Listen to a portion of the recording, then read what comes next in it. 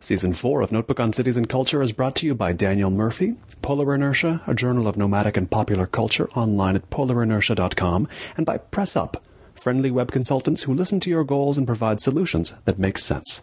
Online at pressupinc.com.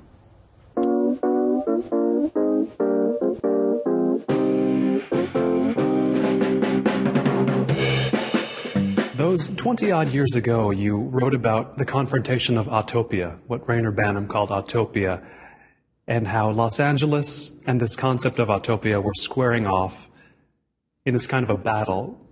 Two decades later, can we definitively say any of those sides, one of those sides has got the upper hand? The freeways haven't increased in size. Um, the population has, so the freeways are no longer an enjoyable experience. Uh, Did you experience them when they were? not that they ever were, but they're even a little less so now, and there's a lot more tension, and uh, there's a lot more people and a lot more uh, crowding on them. Um, rush hour used to be pretty predictable. Now it's all day long, every every day, even weekends, and so um, we reached a point where it's kind of a crisis situation on the freeway. It's lost this uh, utopian ideal of of freedom and um, and giving us the unlimited uh, access to all parts of, uh, of the region to now being a nightmare. No matter when you, you plan to try, drive, it, it isn't a pleasant prospect. And it had lost that luster 20 years ago, had it not? It had, um, but it's getting worse daily. And no matter what um, quick fixes are tried, tried on it, adding another lane here and there in the 405 or whatever, those lanes fill up immediately and we're back to gridlock, you know, square one. And it's here amid the ever worsening freeways of Los Angeles that I'm speaking today on Notebook on Cities and Culture with James Steele. He is a professor here at the USC School of Architecture where we're sitting. And he's the author of a great many architectural books and monographs. And we reference specifically today a book that came out in 93, just over 20 years ago, Los Angeles Architecture, The Contemporary Condition. It's a book I've thought about in recent years as, as the 20th anniversary mark approaches. Tell me, in the early 90s writing this book, why did you begin the book talking about the freeways? This book on architecture begins with a discussion of freeways. Um, there are several reasons. Firstly, the publisher and the editor, um, who I was fortunate to have, was David Jenkins. And it was David that really um, gave me the idea of looking at Reyner Banham and the Autopia idea and so on. Not, not necessarily to you know, shadow it, but as as a way of organizing the ideas about the city. And this is Reyner Banham of the book uh, Los Angeles: The Architecture of Four Ecologies. Autopia is one, along with Surfurbia, The Plains of Id, where I live, and another one whose name is escaping me. Yeah, me too. it has been a while, mm-hmm. but um, that was why I started out that way at his suggestion, basically, mm-hmm. and also because it struck me that. Um, Oh, the hills. The hills. Whatever, I don't know what he called it, but that's where a lot of architecture is. Yes. Um, it struck me that um, public space is in short supply in Los Angeles, and and really it's the uh, the freeways that are the largest public space in the city. Right, and even even in this book, it, the book is. The book, I think, saw ahead in 1993. I mean, this was, of course, a time when frustrations with Los Angeles had really, really mounted and in, in many ways already exploded. But you, you write in the book about the freeways having entered obsolescence already, I mean, did you did you believe that uh, the time of obsolescence had already come for the freeways in 1993? Not just the freeways, but the city itself. I mean, uh, the, the whole thing. Yeah, the uh, the freeways are the arteries and the veins of the city, and so they're starting to tatter. Was a, a kind of an omen or a prophecy of the city itself. How long had you been here uh, when you began this book? In um, I'd been here for two years. I was recruited. I was working in London at the time and recruited to come here. I came here in 91, in the fall of 91. There's this sense that a lot of books on Los Angeles from somebody who has just come here should begin with uh, maybe not a scathing critique, but some kind of some kind of surprised or aghast or or wrong-footed look at the you know quote unquote crazy architecture of Los Angeles in the 30s, the 40s. Mostly pre-war books have this, but there's, I have the sense that the craziness went away, the craziness during that of Los Angeles before I got here. Is there, is there a sense in which Los Angeles now is not crazy enough in some way architecturally?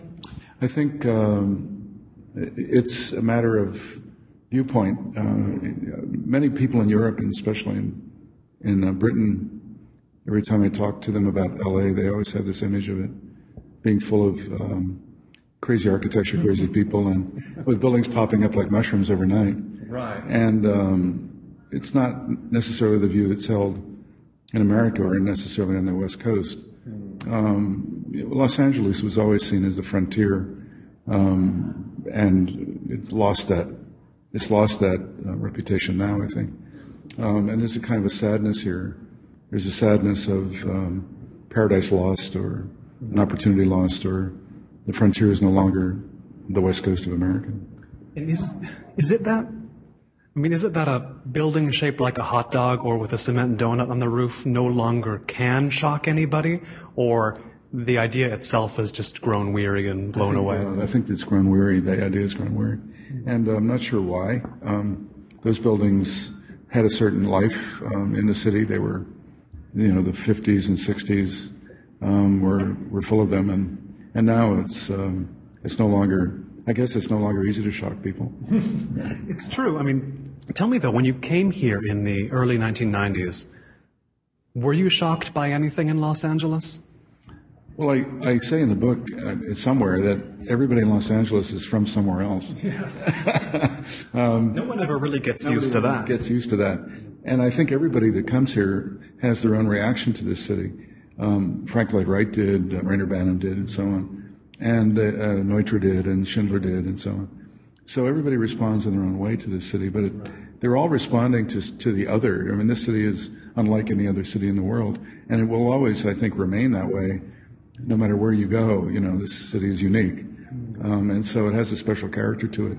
And I was responding to it as, um, in a way, my my experience has been a lot in the third world, and it reminded me parts of it reminded me of the third world. So it has this kind of first world, third world, if those are still applicable.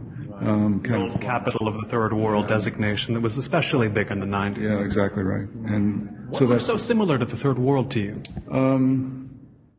the, uh, the the Balkanization of the city. It was basically you know Koreatown and Thai town and Byzantine Latino town. Yes, Byzantine Latino corridor. Yes, the home of Papa Cristo's. you know. I mean, this was one thing, and and you go into those enclaves, and they have, I guess the I'm not sure of the statistics, but there are there are a lot of Koreans in Koreatown. I'm not sure if it's more than Seoul, but um, there. Seoul's got 25 million, so I don't think so. I just came back from there. I can I can attest It's to. not the same as Seoul, but it has a lot of it has a lot of um, characters, uh, different character. You know, It's the balkanization, and in, in the end, the very end of the book, Los Angeles Architecture, you write about downtown and Broadway, describing Broadway as this third world marketplace, this robust sort of third world commercial street, with the feeling that this is about to go away. This is the end of this era on Broadway. We can see that happening now. Has it happened as fast as you thought, or about is about you slower than you thought, or about what you thought? yeah. Uh, well, the city emptied out, as we know. Uh, talking about Utopia, the the car and the freeways made it possible for people to move to the suburbs, and so the city basically emptied the, the center core. It was one of the most vibrant and um, was on track to be uh, like Philadelphia or New York or other cities. San Francisco, um, but it because of the decision to give away the train system and go onto the freeways, um, it, it, it emptied out. It, it hollowed out the center. So once that happened, we had you know a, a different city there. Right. So, so from the war onward, essentially, we have a hollow downtown. Exactly, and and so the, the lower property values and and rents drew in another the kind of people there, and and that character uh, has remained. When I was um, looking at it back in the '90s, it seemed to me that it was going to gentrify eventually. Right. But that Always on the gentrification- precipice. always on the precipice. But the the big problem, Colin, is that the um, the cost of renovation down there. Right. Any of these uh, loft apartments or whatever the people, Gilmore people have done that, have faced enormous um, uh, financial burden getting them up to code. It's, it's true. But the renovations have happened, and I think now we can definitively say yeah, we talked about the downtown revival. We, as in Los Angeles, has talked about the downtown revival every 10 years since the war. Now we can, it's, it's happening now, right? No, no, I don't think so. I mean, I, ah. I think that um, there's a certain inertia about LA. I'm not sure what it is. If you look at the Grand Street plan and, uh, you know, the, uh, the park plan down there, various other proposals, it's so slow and so incremental. Right. And if you talk to boosters, you know, who will say, well, you know, it's so much better than it was, and we have all these catalytic projects, the Disney Concert Hall, and, and so on. But it hasn't really galvanized, catalytically galvanized the, the downtown as people thought it would. Right. We should underscore that there's only about 50,000 people living downtown right now, which is a lot more than there were. 10% of that is homeless as well. So there are issues to be resolved, but it is, I bring it up because Los Angeles architecture, I mean, it, it's a book that makes criticisms, but you also, correct me if I'm wrong, end it or an optimistic note carries through in it a little bit like saying, okay, Los Angeles has had some issues. A lot of this experiment isn't working, but now we know. We know what parts aren't working so well. The single family houses maybe aren't working so well. The freeways maybe aren't working so well. We know that now in 1993. Now we can move forward.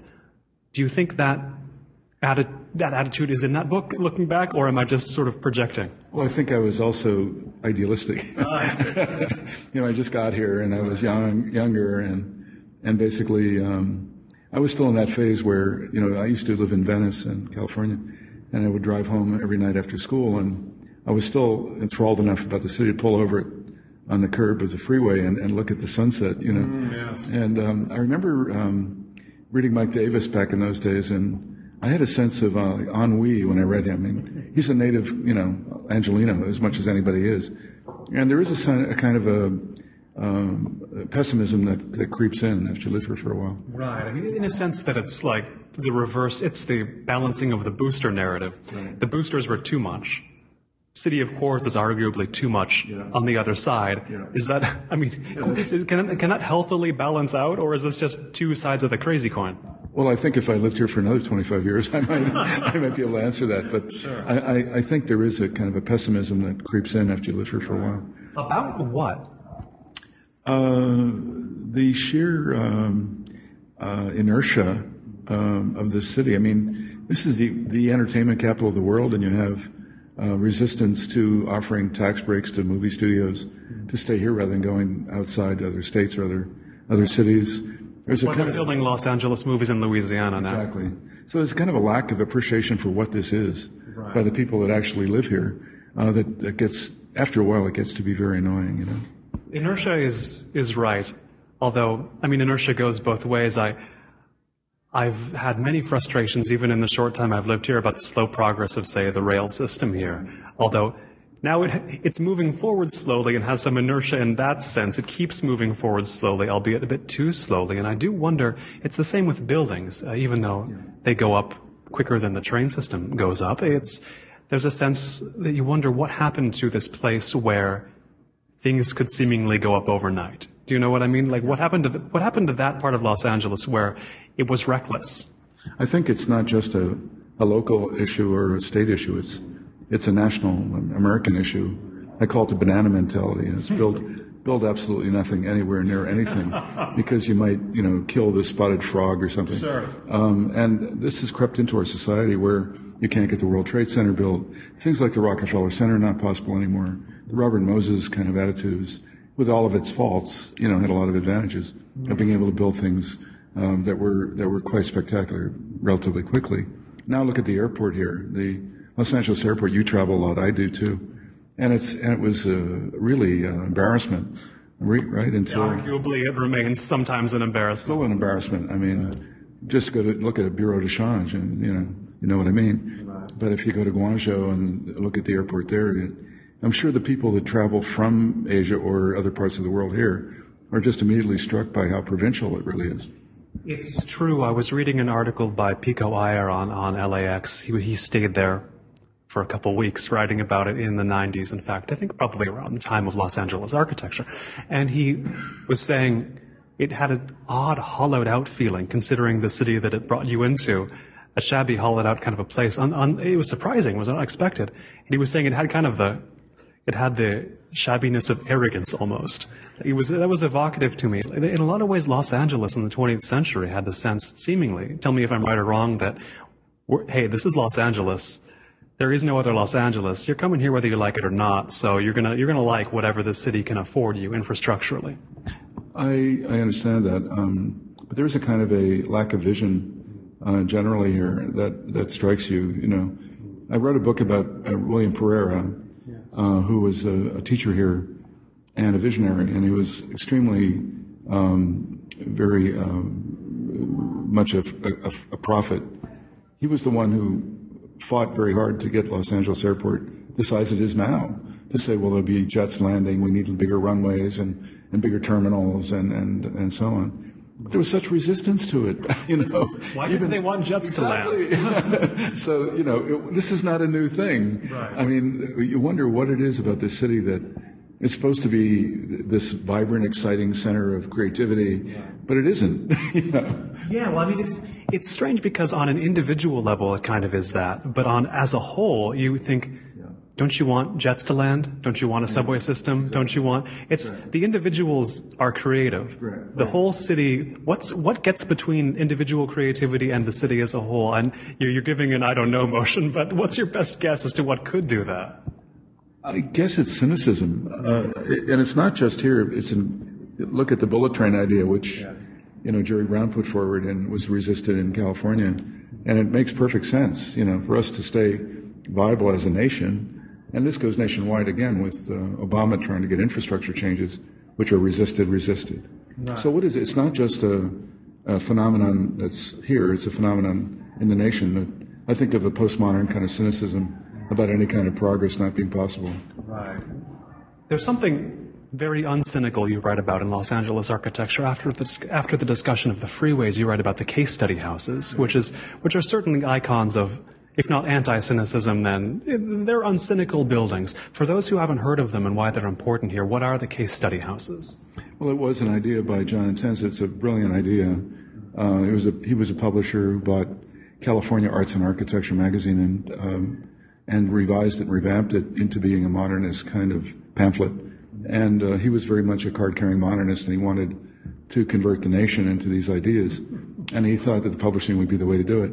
And so he ran a program which is still a very avant-garde, where um, basically he gave a win-win situation to owners who wanted to build a house.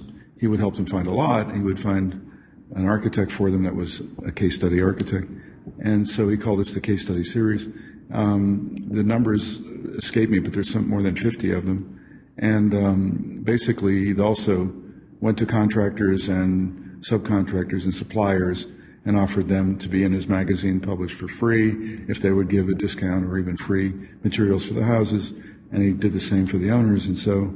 True promotional genius there. Promotional genius, yes. totally.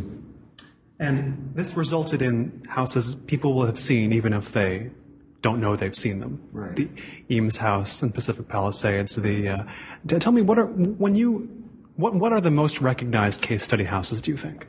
Well, I think that the um, the early days, uh, there was a kind of a, um, a freedom of frame system, a wood and glass frame, and um, this allowed the architects to to work very freely. There was a, a, a change in the environmental rules in, in California um, with a, a, law that restricted the amount of glass that could be used in houses, and it came in in the 70s.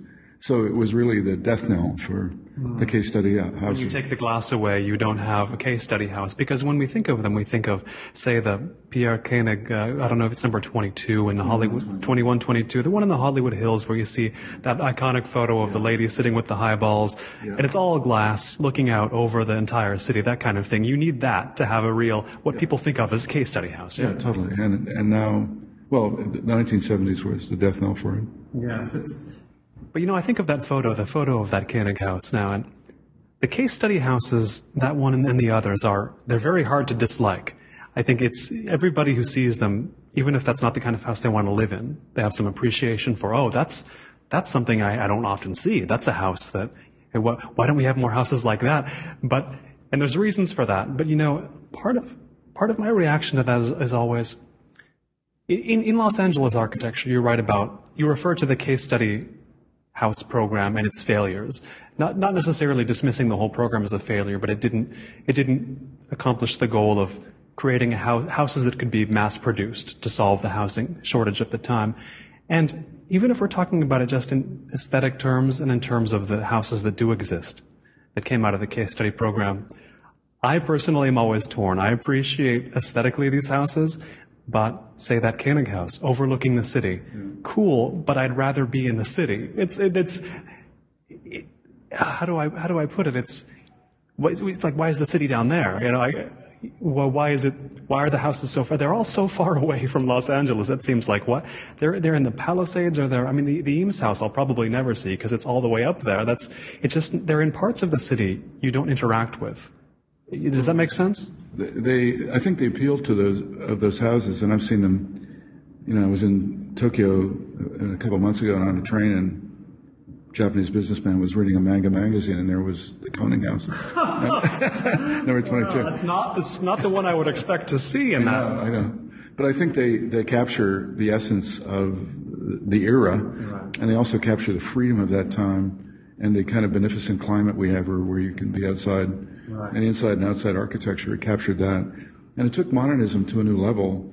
Uh, the Eames house, for example, is a, is a step in a different direction from the classical modern house of Germany, right. where they, they humanized it. And they, you know, most of these houses have swimming pools and it's kind of hard to imagine Mies van der Rohe in a bathing suit. I mean, you know, yes. the, the modern masters didn't have time for fun or, right. or pleasure they weren't hedonists. They were serious about changing the world. And so the case study house took that to Californiaized the, the modernism. But also, Los Angeles is a city of voyeurs. You know, this is a, this is a city that looks at movies and, and so on. Right. And so the houses typically frame the distance, you know. They, they capture that aspect of this culture as well of, of not being in the city, being looking at the city. So that's, that's really what they, they, um, they personify. What does it mean that there has there was for so long and still is in many respects a desire for that, for the city to be your background, not to be your setting. I don't know. I mean, I think it might be the, the noir um, genre, you know, uh, the movies and the, and the, and the novels that always, that, where the city is always a scenography. It's not actually something you participate in. It's, it's the, the stage set for your life.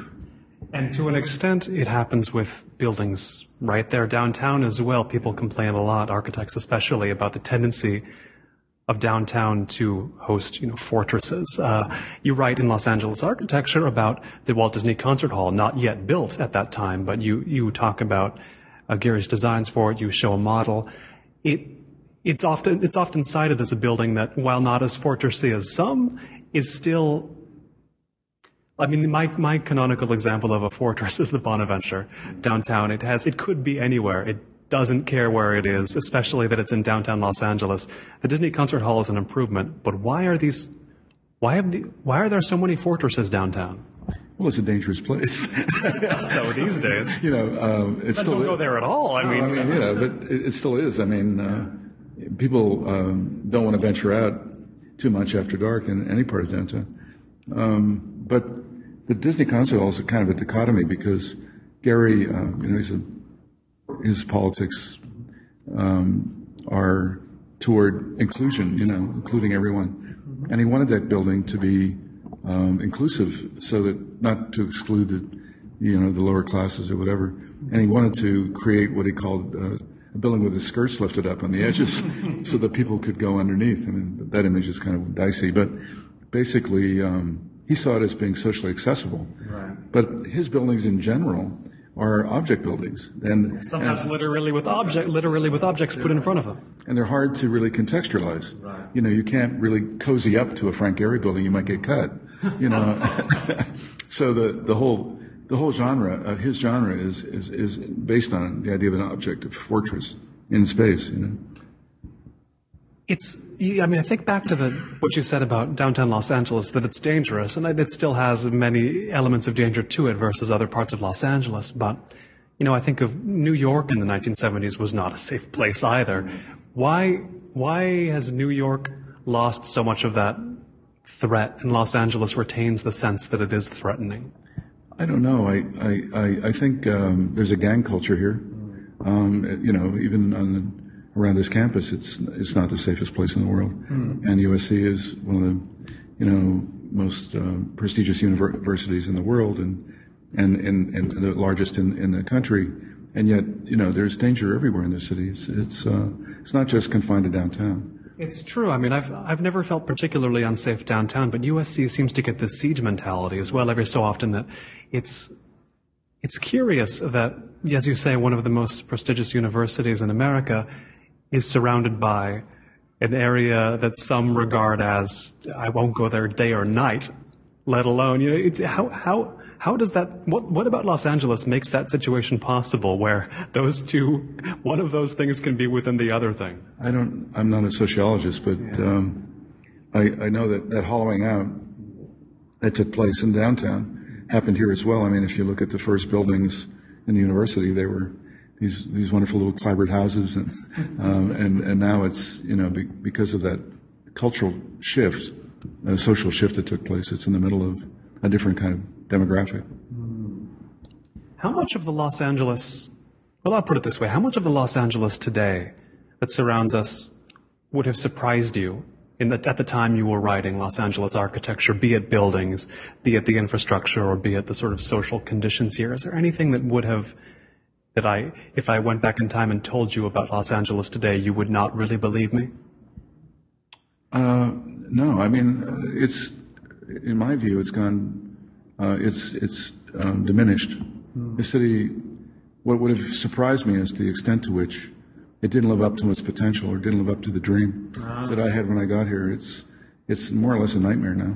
Really, it's it's interesting. That's I would say it's you, you have one of the one of the more I don't want to say it's Pessimistic. Pessimistic, maybe, but you're, you're, you're diagnosing the current conditions. So, less, I mean, uh, I want to get a sense to draw a contrast because this is a time where a lot of people are optimistic about Los Angeles. So, I think it's especially valuable to figure out what what you what exactly you find you think you suspect went wrong that others see going right. Uh, where, where, do you f- find the most disconnect with?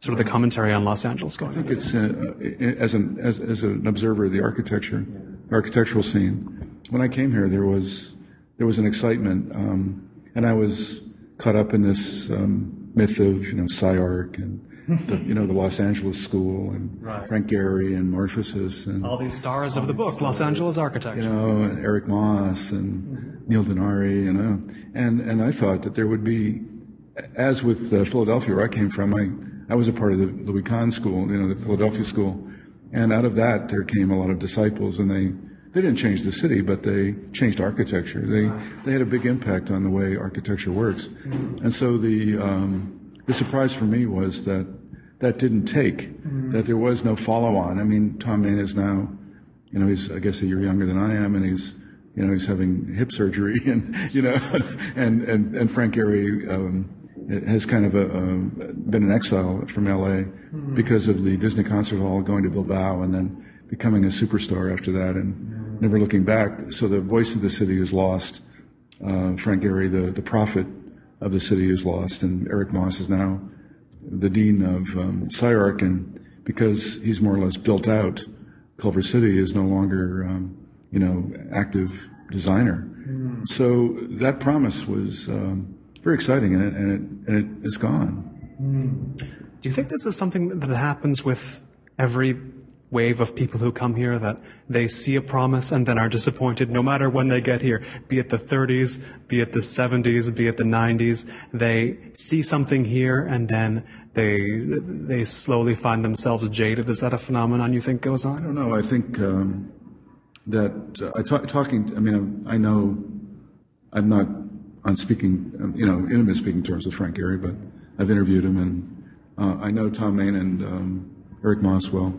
Um, and they all decry that idea of LA school. You know, they say it was it was a myth. It wasn't really true. It was a it was a media creation. It was a kind of a perception. However, it was a powerful a powerful trope. You know, and and if you came into LA, if I were coming into LA today, I'd be hard pressed to identify who the new hot architects are. Right. You know, there I know there's a a lot of 40 under 40, you know, firms that are really powerful um, in their own right, but there's no kind of cohesion. There's no translation of the zeitgeist of the city the way that they, they translated it.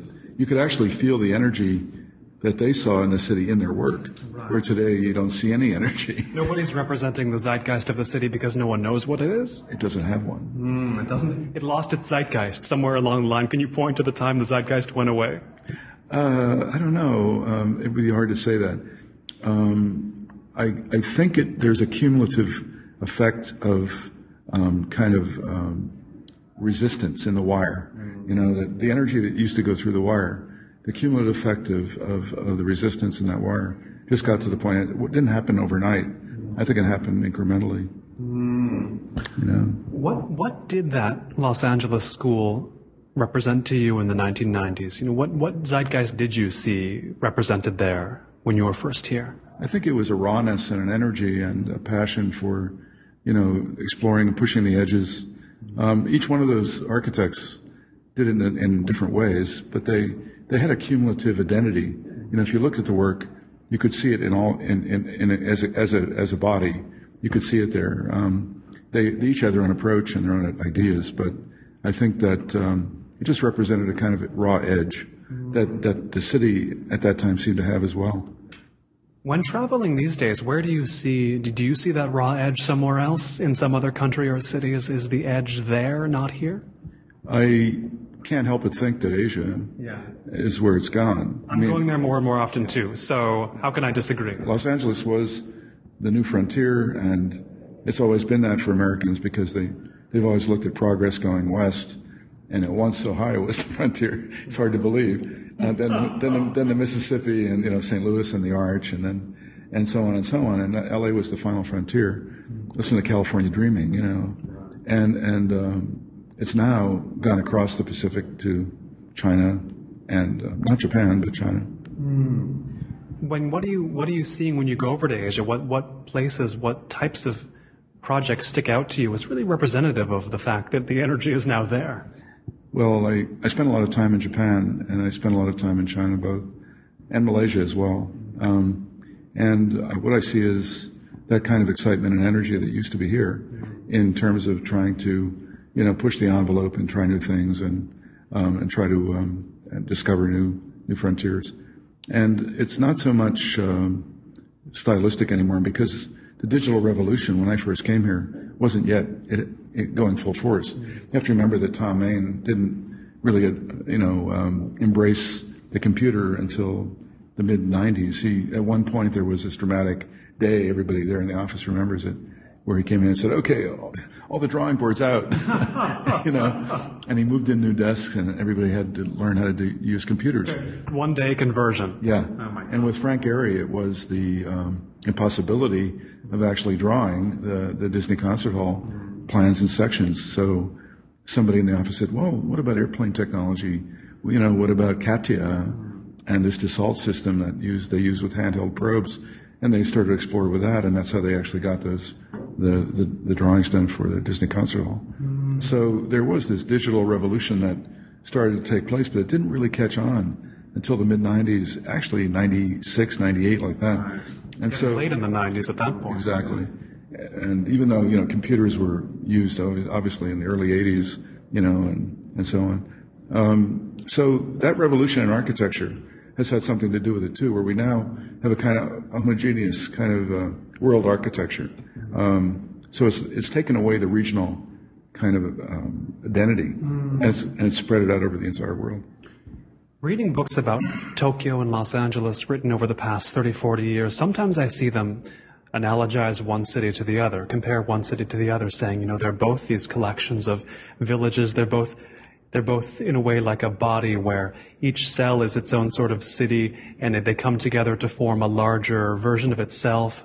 And they'll write about Tokyo. This still happens in Tokyo today, as I understand it. You know, buildings go up and down so quickly you'll get lost if you spend a few months outside the city. They said that about Los Angeles at one time, but it's strange to think that Tokyo would keep going apace, and Los Angeles, the much, much newer city, would be the one to slow down, isn't it? Um, I think it has to do. There is a, there are superficial similarities between the two, uh, formally, but there are deeper cultural differences too that have to do with Buddhism and, and the idea of transience and change and, and Zen uh, especially, and also Shinto where basically there's no uh, expectation of permanence. In LA, um, you know, I, I, I, um, I always joke that, you know, something that's 30 years old is ancient. yeah, well, you get these, you get these battles here to preserve drive-in coffee shops, and I'm, I think, yeah, I, those are pretty cool, but that's not what the city is. Is it keep, keeping hold, you know, holding on for dear life for these things? The, the, the builders didn't even mean to last this long in the first place, you know? Yeah, I, I, I think it's, the, the similarities are, are, are, are uh, evident, but there is a, a, significant cultural difference. Here, it's a matter of um, boredom with history. you know, it's not so much about any kind of Buddhist or Shinto ideals. Right. It's about just being um, everything is yesterday if it's if it's not current. If you were to do a new edition of Los Angeles architecture, I mean, what's the first what's the first thing that changes? What's the first thing that needs expanding? What comes to your mind as this is going to need this is going to need some changes? Because I mean, it's been since what 98 was the last edition of the book. Instead of starting with uh, Autopia, I, I, think the first sentence would be Los Angeles is like a, a psychiatric patient that needs occasional checking, and you have to constantly, uh, you know, take its take the temperature and and, and do uh, do the CAT scan. Yes. And and if I had to give this prognosis for this patient, it's on life support. It would be a book with a different tone. Then it would, it would be a book, as as I say, Los Angeles architecture, in its most recent edition, is it's not all smiles, but it has optimism to it. Now you're essentially you would be viewing you'd be viewing the decline of a place through its architecture. How do you do that? The rise and fall of LA. Mm-hmm. And um, I know what you say. I know what you're saying. I mean, I, I am a magazine junkie, mm-hmm. both online and, and, and the actual hard copies. Mm-hmm. And every time I pick up a magazine with an article about LA, it's oh, all the creative talent, oh, all the young people. Look what's happening here. Look what's happening there. But it's so atomized. You know, there's no coordinated vision about what this city can be or where it should be going Nobody has that kind of um, that kind of uh, vision that the that the Los Angeles school had. I mean, if I can call them that, and, and they don't, don't really ascribe to it, but they all seem to have a um, a uh, an idea of changing this place for the better and and making it um, into the brave new world. Now there is no belief in a brave new world. I think we've gotten to this stage where there is no kind of um, passion or, or optimism for the future here. This was the center of optimism. Now it's uh, it's not. How much of it has to do with Los Angeles simply being too big to have a vision for? Uh, that could be it, but it's always been spread out. You know, it's always been. I mean, relative to size, it's always had the same structure: eight cities in search of a center, or seven, or depending on who you talk to. I think it might have to do with um, just the sheer demographic changes too. The fact that uh, it's now a um, you know, uh, it, it's, uh, it has a feeling of burden to it. You know, the, being the, the burden for, for, um, for providing survival. You know, it's on survival mode. It's not on, um, not on um, chasing a dream. You mentioned the atomization of what goes on here, and yeah, when I read about Los Angeles now or, or talk to people about it, often they do frame people frame what they like or what they're looking forward to in terms of very specific areas. Maybe they like what's going on in Silver Lake. Maybe they like what's going on in downtown or Koreatown where I am or Culver City indeed still. It's, it's something that makes I don't know. Personally, my experience of the city is pretty good. And then I question myself. Am I thinking, well, then am I experiencing Los Angeles or am I, am I experiencing a dozen places individually that I go to and I'm calling that Los Angeles? You know, how do you answer the question of knowing when you're experiencing Los Angeles and when you're just experiencing the atoms? Uh, we have a, a, dean here, this Chinese. He came into uh, office in 2007. Mm-hmm. So he's now been here for you know, seven years or, you know. Um, and he comes from Shanghai. And I can't help but think, I often have this fantasy in my head. He doesn't spend a lot of time in, in his office. You know, he's always on a plane to Shanghai, and I know why. You know, if I had a choice of LA or Shanghai to live in, I'd be in Shanghai in a heartbeat. Even I mean, with the air? Even with the air. I mean, oh, because the sheer excitement and innovation of that city you know, compared to this city. This city is so sad. it's so tragic. It's just, you know, come on, Culver City, you know, this is uh, Nirvana. I mean, you know, it's got two blocks, a couple movie theaters, and everybody's excited. Uh, you know, what is, um, I think if you're so desperate to kind of make uh, the best out of something, that you, you think that that is is really exciting. I, I, feel sorry for you. You know, I just yes. you know. I know what you mean. It's it's one of this. I think even Los Angeles enthusiasts have this have this issue, have this dilemma where they half of their enthusiasm comes from criticizing the problems of Los Angeles, even if half is genuinely they genuinely enjoy what they're doing here. I mean, I could say the same for myself. I I don't have to live in Los Angeles, but moved here out of being fascinated by it. And yeah, the conversations I have, even with people who say they love Los Angeles, uh, which I don't say, but I do find it very fascinating.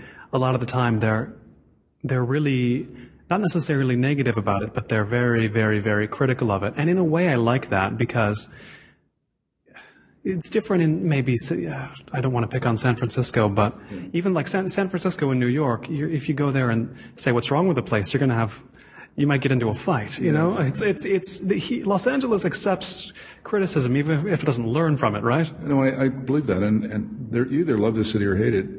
And I started loving it. I'm not in the hate column yet, but you kind of have to do both, though, don't you? you ultimately, do, you do. I mean, it still has its moments for me. I have two sons, uh, probably older than you and, and my older son loves the city, and every time we meet, you know, we have this conversation. Dad, why don't you like Los Angeles? I love Los Angeles. you know. What do you um, tell him when he says, "Why don't you like Los Angeles?" I don't know. I'm just over it. I guess it's like um, I, I, think that it's the traveling that gets that, that does it for me. Go to Kuala Lumpur. The next time you go to Asia, go to Kuala Lumpur. Mm, I want to go to Kuala Lumpur. Go to Jakarta. You know. Um, Tokyo, well, you've been to, uh, you know, Shanghai, Guangzhou my God, this is life on steroids. And right. and once you travel to them, to those cities, and and then come back here, this is really sad and pathetic. I, I, see what you mean. I mean, I just came back from Seoul myself. I was in Korea six weeks recording interviews on this show, and I do. I did have a lot of moments there, and even in Japan, where it was like, why don't we have that in Los Angeles? Why don't we have that in Los Angeles? Everything from the vending machines yeah. to twelve subway lines. At the same time, the homogeneity of those places bothers me. You know, you know, you know what I mean? It's no, that yeah. that that would get to me in the way that Los Angeles things get to me. Los Angeles's problems get to me. Uh, so the only conclusion I've come to is I have to split my time, half in Asia, half here, which is kind of, it seems like you're maybe more in Asia now, but that's, that's a way to live here. It seems like it'd be away no, half the time. And Asia's coming to us, you know. Yeah, that's true. So, uh, I mean, look at little Tokyo and so on, but it's such a pathetic little reproduction of Asia, you know, that uh, little Tokyo, the people that live down there, trying desperately to recreate something they have in Asia. You have to think of it not as a recreation of Asia and as its own thing. That's at that point, it's it's it's it can't help but disappoint if you think Little Tokyo is literally Little Tokyo. but does does that? Is it not? How do I frame this? I was going to ask: Is the is the fact that, is, that Los Angeles is so non-homogenous. Is that not a draw for you? I think back to Los Angeles architecture, and you frame it as that might be a reason the city has struggled, is that it is so diverse. But is there a sense in which that's also an attraction here? It is, um, but you have to embrace the car. You know, if if I've some, you know, there are twenty foot waves in on Malibu today. You know, and I was thinking I, I would go and see them after this interview, you know. But you got to get in a car to go to do it. Uh, that's why Malibu's not on my map because I don't have a car. And you know, there's I hear there's this great um, Vietnamese sandwich in, in you know Glendale that I should go and try. But you got to go to Glendale to get it. Then you are out of Los Angeles. exactly. And you know, or downtown. I just read about a great new restaurant down there, Republican. You know, you got to. Well, it's not that new, but um, you know, you've got to travel Right. No matter where you want to go, the, the, the, the, saying in Los Angeles is everything's half an hour away. However you get there, bicycle, right. whatever. But there, there's public transport system. If it was like Tokyo or London, yeah, you know, it wouldn't be that bad. But it's such a, a difficult thing to actually negotiate now with the freeways and everything else. You just think, oh, I won't bother you know. Right. There's there's that as well. And I mentioned Malibu being off my map. I guess there are certain parts of Los Angeles that just don't appear in my calculus because they're too hard to get to. And I don't really sit there and miss them. I don't really think I, you know, I'm probably missing things by not going to Malibu, but I don't, I'm not necessarily thinking about it. And it makes me wonder, you know, in the 90s, I watch a lot of 90s Los Angeles movies, and there's, with understandably, a lot of them have this sense Los Angeles is about to erupt into a race war. Uh, there's this huge class divide. There's the rich, rich white people on the west side and their fortresses, everybody else scattered around the plains of Id, you know. The sense of that there's more than one city and these cities don't communicate. Like there's, there's Los Angeles 1, Los Angeles 2 far below it. It seems now, you know, I think of, when I think of where I can go in Los Angeles, and increasingly, maybe it's generational. I talk to people younger than me and what comes up in their mind, what's on their radar, what's on their mental map is the, is what they can get to easily. Right. It is downtown. It is maybe Pasadena. It's whatever's on the expo line. And those, li- it's, it's really transit based or where you can get on a bike. And those tend to be the densest parts of Los Angeles as well, or the densifying parts, which leads me to wonder, will there come a time when there are two Los Angeleses, the dense one and the non-dense one, the, the, the, twain do not meet. Yeah. You know what I mean? Is that plausible? It's plausible. It's an interesting idea. I never thought about it, but I think that the thing we talked about earlier about the resistance to change I, in the public transport system, for example, which, you know, the investment is there, but it's so bloody expensive now, you know, right. one mile costs a billion dollars or something. And it's not going to change anytime soon. They're talking about the, the line to, um, Santa Monica being finished in three years. We'll see if that works, but so it takes such a long time. Mm. Uh, and it's the travel that makes it hard. So, a friend of mine, I just met her actually, and uh, on a plane, and she was she was going to um, Long Beach. She's visiting friends there. She's from Miami, and invited me down to you know to meet her. And I, I said, no, I'd rather not. it's 45 minutes in the freeway, and I was thinking, you know, so you lose connections and friends. Right. So you're, you're, you're basically your social network is is heavy, but your actual network isn't. Right. It's it's one of those reasons that it seems like it's one of the reasons I see that that kind of looming divide because when when a newcomer comes to Los Angeles, I find they do go to this denser Los Angeles in the middle, and it's I don't really know if it's a generational difference for prefer- preference of density in terms of living or whatnot, but it's one of those reasons that the case study house program gets considered a failure, isn't it? Because it couldn't address density? No, that wasn't the reason it failed. Um, I mean, that was a problem with it, though, that it could never. right, it, it, couldn't address density, right? It was one of the reasons it, it didn't catch on, but it, it, it, failed for deeper reasons, I think. A more, a more um, systematic reason. Mm. What, what, do, what do you put it down to? Well, I was fortunate enough to have um, Pierre Koenig was here when I came here. And so we, uh, I did a book on him with David Jenkins, and um, I got to know him fairly well and and visit his projects and so on. And what Reyner Banham calls the the uh, style that nearly, yes. you know, dot dot dot. it was a style that nearly because Koenig had this vision early on of mass producing houses for the public that could be that could be built in an assembly line, and they were you know steel and glass and bolt them together and bingo. Now it's a style that you know time has come um, people like Marmol Radziner and so on are doing houses, selling them online for extraordinary amounts of money. Um, my son was thinking of getting one until he looked at the price tag, you know, and they're, so it hasn't yet come down to the, being the Volkswagen of the, of the architectural market. But, um, Pierre Koenig was way ahead of his time.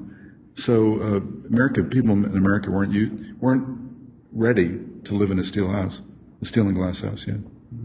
That's why it failed. Just we could just say something as simple as it was ahead of its time. Yeah, yeah, exactly right. How many ahead of its time, ahead of their time architectural ideas really happen here? Maybe not today, but has this been, has Los Angeles been a city that has hosted more too far ahead of its time ideas that have that have sank in that way besides the case study houses? Yeah, um, I'm just putting together a history of the school for the school, and it's going to be out in November. And um, it's taken me five years to put it together. But um, yeah, the, this school has kind of been a hotbed for that that kind of thing. It doesn't look like a hotbed compared to SCI-Arc or something, but it has uh, you know a lot of um, a lot of new ideas come out of here, and and uh, and Los Angeles too. Um, so yes, there have been a lot of ideas that have been broached in LA. What are some of the most fascinating architectural ideas to you that have come out of here, out of, out of the USC School of Architecture? I think they're mainly to do with materiality and systemization. Um, if you look at Konrad Wachsmann or Raphael Soriano or you know anybody like that, they've all been looking at how to move move the ball forward. In in uh, Frank Gehry also, to be honest, in the beginning, uh, they were tired of this kind of conventional stick built kind of way of building that we take from the colonial period, you know, balloon frame houses and all of that, and looking at a new way of breaking the mold and, and coming into the 20th century, then the 21st century, of building in a, in a way that, that matches the technology and uh, the scientific processes that are available. With, working with students, the students you have here today, what sense do you have of their attitude toward Los Angeles and its built environment?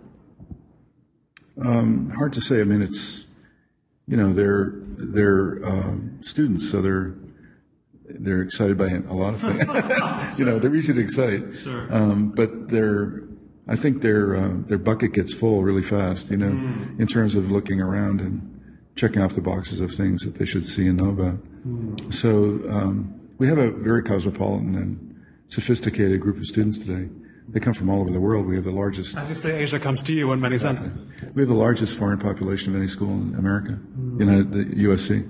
Mm. Um, and so, you know, when they, they compare where they've come from to here, it's, oh, oh um, you know. is it always that? Is it always ho hum? I have to imagine just because it is so different from the places they come from, there's some core fascination there. I mean, for a lot of people who come here who even don't like Los Angeles that much, they say, well, it is, it is different. No, sure. I mean, as I said, you know, uh, I, I, do remember vaguely being 22, and I'm sure you do, you know, and, and anything excites you when you travel and, and you soak it up and you learn. And, and so I'm sure they're, they're excited about it. And we, do our best to to get them into the um, all of the sites in the city architecturally that we're seeing, and so I'm sure that that interests them, excites them, and so on. But students today, in general, are very hard to impress mm. because they you know they've seen everything, done everything, they travel a lot. They're very sophisticated. You know, they start flying when they're like 12 or something, and so they they're they're more um, urbane mm. than they were in the past. How, how different were the impressions the first time you came to Los Angeles versus the first time you did some serious architectural examination of Asia? You know, when you first were there, as opposed to when you first were here, were they, were they similar kinds of excitement you might have had about the Los Angeles school and about what's going on in China and Japan, Malaysia, and so on? It was excitement com- combined with confusion. sure. I think I operate, the reason I write is to learn myself. There, you know, there's this idea that you don't, you know, if you write a book, you're an expert on something. That's the British idea. You know, you, you spend your entire life studying, I don't know, somebody like Canatello or Canatello. But basically, um, I, I write to, to teach myself and then to use what I've learned to teach others, mm. my students. And, um, and so I, I approach things with, you know, skepticism and a little bit of curi- a lot of curiosity and, and, and the confusion. When I came here, it was a lot of that. I mean, I, I was excited by this place. And I, as I said, I you know used to look at palm trees and go crazy, but uh, you know um, I don't anymore. But um, that, that's what happened in Asia too. It's trying to figure out what makes a place tick. You know, you go to Tokyo and think, what is it about? What what is going on here? Right. So you try to dig deeper and deeper and deeper until you understand the structure. Mm. And that's what I, that's the way I operate with it with any place I go to. Mm. You know. And it's it's easier to see that structure, is it not? If you if you can get past the sort of rapture of be it with a palm tree, be it with a sunset, or be it with be it with anything, you have to would you would you say you have to get past that uh, that honeymoon with yeah. a place to really see it? It's a scientific outlook. I mean, and being a you know scientific objectivity, but there's also the other side of the brain that that's the subjective part. Mm. So you balance them, and I think that that book, the Los Angeles book, you know, it's it's some of the best writing I've done. I think. And I've heard that from various other people too. And I think that's because I was excited by this place and, and the subjective part of me was deeply, you know, moved by it and, um, and fascinated by it. It takes that, it takes the, the excitement of that subjective part of you to bring you to the subject in any case and then you have to you have to see it a little more i mean now in the state you're currently in your current relationship to los angeles you could write about it pretty objectively i would imagine yeah, I or so. is it too far the other direction where it's, you're not objective I again if i'm too bitter you know, having my house broken into three times. And, Three times. And my car also, and, you know, and like, you know, multiple accidents that weren't my fault. And, hmm. you know, after a while, you get inured to, to the, to the paradise. Right. Um, and, and you think about the negative side. But I, I do, I think I'm capable of being objective, and I do intend to write another book about it. I'm not sure if it's going to be a book or an article for a magazine or something, um, for, you know, British magazine or something. What, are the, what question would you want to answer in that? What question are you looking for the answer to that would make you write, whether it is a book or an article? I think it's uh, can I get across this idea of the, the way the city has moved, um, how it's transitioned in the 20 years, that, it's 24 years I've been here. You know, I, I think it has changed. Uh, it's, something's changed, some things stay the same, as the French say. But I, I think that uh, the changes have been dramatic. What's, what's the starkest? The demographic shifts, I think, uh, and, and the impact that's had on the city. Um, and Pure diversification? Yeah. I mean, it was always a diverse city, but I think that that's tipped, you know, uh, it's tipped a bit, and it's not tipped to the to the point where it's noticeably changed the form of the city, um, but it's tipped in the way that um, the attitude of the city, I think. Could it change the form of the city? This, the, this growing, ever growing diversity here? Well, I think it changes it in many in many different ways. We talked about Broadway. You know, I think that eventually it will gentrify. Um, it's not going to gentrify. At, at one point, I had hoped it would be, you know, because the, the architectural um, treasures down there are so amazing. I forget how many theaters there are, 28 or 30, that are just rotting away. And if, if somebody could come in there and make a, you know, proposal to do the entire street and save them, that would, I think that would be great. As an architect, it won't be so great for the people there who will be displaced and, and have to find a new place to live. And this, this is true all over the city. There, there's a constant shifting and displacement happening. And it's, it's happening for, you know, uh, in the other way too. I mean, so there's a class structural, a, a structural class division that's taking place. It does seem with the current wave of optimism about Los Angeles, there's definitely room for something contrarian. I mean, do you, can you, can you see yourself feeling that spot? Uh, yeah, I think I could do that um, because everybody seem everybody thinks that they have to be a booster really, You know that this is the tradition of the city. You know, it, it's the great place to live. And I was watching, um, you know, on Netflix last night something. Maybe I shouldn't mention the show, but it was about kids in Seattle, homeless kids, and and there's this one character who's going to go to Los Angeles and change his life and become a star. You know, there's still that mystique of the city that you know you can come here and change your life you can come here and reinvent yourself, and you can still do that. You know, I did, and, and, and Frank Lloyd Wright did, and various other people did. Um, but um, the reinvention now is harder because um, it's there's a cynicism that um, you have to buy into to do that. These other cities that impress you around the world, does personal reinvention go on in them as well? No, No. um, it's harder because of class structure and and uh, tradition and so on. You know, if you look at Tokyo, if you know it's a xenophobic culture for a start, and if you come in as an outsider, you're you're already in the margins. Right, but you can reinvent yourself that way. People, Westerners, go there for that reason. They they they start over with this when they're on. They they can stay on the outside in some sense. Yeah, I forget the name of the guy who um, is a you know he's a he's on the on the talk shows all the time, and he he speaks fluent Japanese, but he's he's from Chicago or something. I forget. And You get uh, those type of celebrities in these countries. blonde hair and and um, you know Dave Dave Son they call him, and um, he's a curiosity, but he's uh, so adapted to the culture that he's accepted. But no matter what you do in Japan, you'll always be an outsider if you're not Japanese. And here it's everybody is sort of foreignerized in a way, right? Everybody is an outsider. Eh, Does that make sense? True, exactly. That's why you have the freedom to do what you like. So there is relative freedom here, although you know it's get becoming more circumscribed. I do often think finally about what I would change about Los Angeles, even though I'm pretty happy with my experience of Los Angeles. I do think what's one thing I would do if I could just snap my fingers. I would probably, I'd keep the amount of things the same in Los Angeles. I would, you know, have all the distances. If I could snap my fingers and make everything half as far apart as it is now. I'm not saying that would solve a lot of problems, but I think it would it might solve some it might solve some personal gripes I have with how far apart things are. Is there something you think about, you fantasize about? Well, if this one thing could change, maybe I would have less of a problem with Los Angeles. Some sort of core issue you could snap away and just to see what just that would make you curious to see what happened as a result. Well, you know, uh, I also spent a lot of time in London, mm-hmm. and even though that the underground is you know, Victorian. Yes. right? Uh, Two of those lines are like UNESCO World Heritage sites, right? They can't do anything to them. Exactly. But they still function mm-hmm. uh, really well. Not to hear Londoners tell it, but. Yeah. Uh, even unless there's the wrong kind of snow or something. um, but, you know, you, you, you, never hesitate if, if you're, and, and, in Tokyo as well, the subway system is brilliant. You know, you have to kind of get adapted to it and understand the, the way it works, but eventually you don't even blink about you know going from one part of the city to the other.